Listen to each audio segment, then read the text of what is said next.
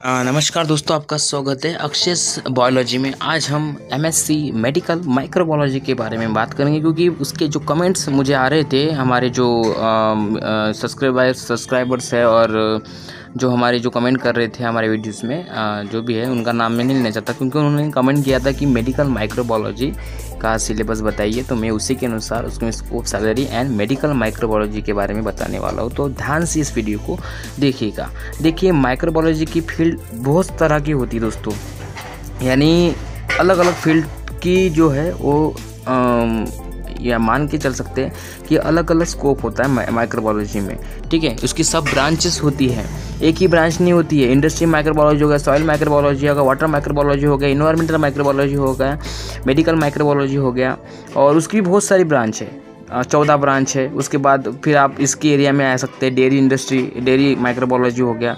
बहुत सी ऐसी ब्रांचेस है, ठीक है, जिसमें आप कोर्स कर कर रहे हैं माइक्रोबायोलॉजी का। आप ये मान के मत चलिए कि एक ही माइक्रोबायोलॉजी कोर्स है और हम एक ही माइक्रोबायोलॉजी कोर्स कर रहे हैं। हमको एक ही स्टडी करने को मिलेगी। ठीक है?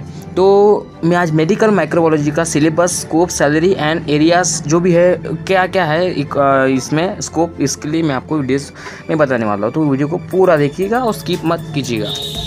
देखिए दोस्तों MSc medical microbiology syllabus subject study of bacteriology and physiology है, ठीक है? माइकोलॉजी ऑफ़ वायरोलॉजी है, ये आपको देखने को मिलेगा। इम्यूनियोलॉजी है instrumentations of is the biological applications industrial microbiology and food microbiology are dna deoxyribonucleic amla technology and microbial productions of recombinant molecules environmental and वातावरण environmental microbiology and microbial biodiversity biochemistry and microbial physiology molecular biology and microbial genetics biostatistics biostatistics and medical microbiology, bioinformatics and computer applications, project industry and training and project ठीक है? ये कुछ उसका syllabus है। इसमें मैंने short form में बताया तो आप पूरा देख लीजिए। पर ये आपको पढ़ने के लिए मिलेगा मेडिकल माइक्रोबायोलॉजी में। मेडिकल माइक्रोबायोलॉजी में यही आपको सिलेबस देखने को मिलेगा, चाहे आप इंडिया की किसी भी यूनिवर्सिटी में पढ़े, ठीक है?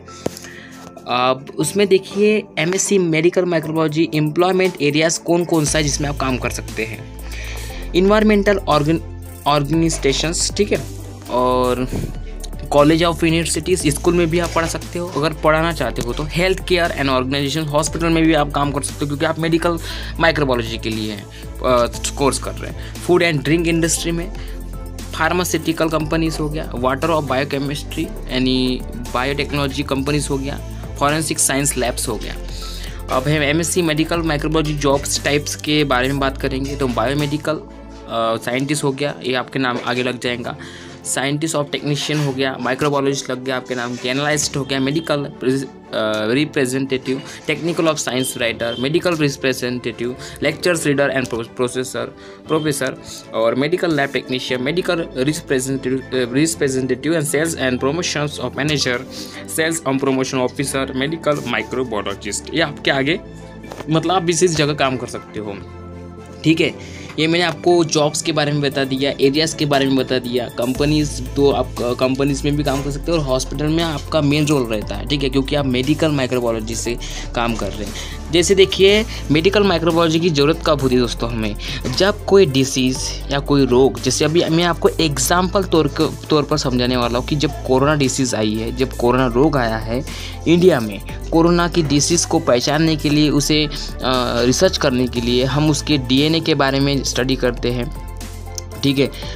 सॉरी आरएनए के बारे में स्टडी करते हैं और उसका जेनेटिक मटेरियल कौन सा है, वो हम उसके बारे में स्टडी करते हैं और उसके बाद उसकी पैथोजन लैब्स के बारे में उसका कोरोना टेस्ट जब करते हैं तो हमें मेडिकल माइक्रोलॉजी की बहुत ज़रूरत होती है, ठीक है? आप ध्यान रखनी, रखिएगा हॉस्पिटल में। तो रिसर्च करने के लिए, उसको टेस्ट करने के लिए उसकी जो है जेनेटिक जो है, उन्होंने उसका जो आकार है ठीक है जो उसका जो स्ट्रक्चर उन्होंने, उसने बना के रखा है कोरोना डिसीज़ ने। तो उसका स्ट्रक्चर हमें पहचानने के लिए वैक्सीन को डेवलप करने, यानी वैक्सीन बनाने के लिए, ठीक है, उसकी स्टडी की जाती है मेडिकल माइक्रोबायोलॉजी के थ्रू और बहुत सी फ़ील्ड में आपको एक ही चीज़ समझाने वाला हूँ, समझा रहा हूँ, ठीक है। तो जेनेटिक जो है आरएनए क्या, उसके अंदर क्या है, ऐसा मतलब परिवर्तन क्या हमें देखने को मिल रहा है, उसकी भी रिसर्च होती है मेडिकल माइक्रोबायोलॉजी में। पैथोजन्स की हो गया, कोई जो रोग होता है, जैसे वायरस हो गया बैक्टीरिया हो गया फंगस हो गया जैसे बहुत सारे इन्वायरमेंटल में, यानी बहुत से जो डिसीज़ होती है, उसको पहचानने के लिए मेडिकल माइक्रोबायोलॉजी की जो डिमांड है, बहुत ज़्यादा है। नहीं उसको ही इसका सब्जेक्ट कहा जाता है, उसको परखने के लिए, उससे जानने के लिए और उसकी स्टडी की जाती है, ठीक है? तो यही कुछ था मेडिकल माइक्रोबायोलॉजी के थ्रू अगर जॉब्स के बारे में करें, बात करें तो इसकी जॉब्स बहुत ज़्यादा है, यानी डिमांड भी बहुत अच्छी है। पर अगर आप इंट्रेंस एग्ज़ाम भी इसका मेडिकल माइक्रोबायोलॉजी में होता है। और उसके बाद अगर आप आ, आ, मतलब जैसे इंट्रेंस एग्ज़ाम के थ्रू अगर आपकी यूनिवर्सिटी की फ़ीस कितनी है तो मैं आपको बता दूँ जैसे मैंने लिखा नहीं है तो मैं आपको बता दूँ कि यूनिवर्सिटी की फ़ीस है लगभग लगभग दस हज़ार से लेकर या फिर बीस हज़ार से लेकर एक लाख डेढ़ लाख तक फ़ीस इसकी रहती है। क्योंकि ये कोर्स महँगा दोस्तों क्योंकि ये मेडिकल माइक्रोबायोलॉजी का फ़ील्ड का कोर्स है। इसमें कॉलेज भी प्रोवाइड होती है गवर्नमेंट की तरफ़ से आप कर सकते हो। उसके बाद अगर आप सैलरी की बात करें तो फ्रेशर में आपको बहुत से कम सैलरी दी जाती है। यानी पंद्रह से बीस हज़ार रुपये आपको स्टार्टिंग सैलरी रहेंगी। या फिर आपका एक्सपीरियंस है तो खूब बहुत होगी दोस्तों, पचास हज़ार, चालीस हज़ार।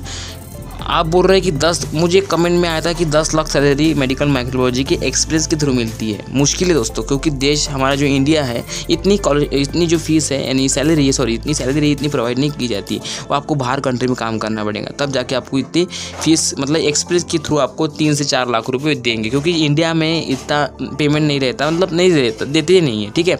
तो आपको अगर आपका एक्सपीरियंस है तो आपको चार से पाँच सॉरी चालीस से पचास हज़ार रुपये आपको मिलेगा। अगर आपको फ्रेशन में तो आपको पंद्रह से बीस हज़ार अभी ज़्यादा से ज़्यादा पच्चीस बीस हज़ार रुपये स्टार्टिंग रह सकता है। तो यही कुछ वीडियो था। अगर आपको वीडियो अच्छा लगता है, उसे लाइक शेयर कमेंट ज़रूर कीजिएगा और कमेंट बॉक्स में ज़रूर लिखिएगा कि आपको किस तरह का वीडियो चाहिए। जय हिंद, वंदे मातरम।